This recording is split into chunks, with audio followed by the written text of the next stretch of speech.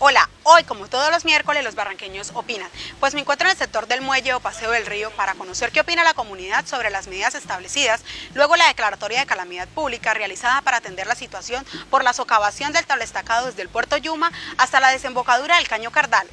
Bueno arreglar eso porque imagínense, para uno allá y se vaya, allá ¿quién lo va a sacar en el río? Nadie. Es una medida segura, un poquito riesgo, no hay alto riesgo. Sí, sería bueno porque, porque de verdad hay que prevenir, ¿no? Ahora pues que de pronto haya idea de eso, asegurar lo que hay, asegurar lo que hay, ponerle firmeza para que las cosas no se acaben.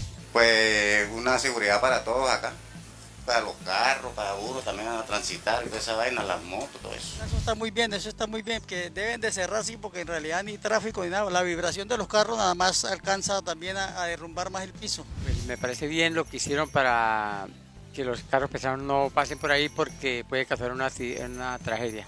Me parece perfecto la medida que han tomado porque se protege la vida del ciudadano como tal y se cuida el patrimonio histórico de Barranca Bermeja. Son buenas todas las medidas que se tomen en preventivas.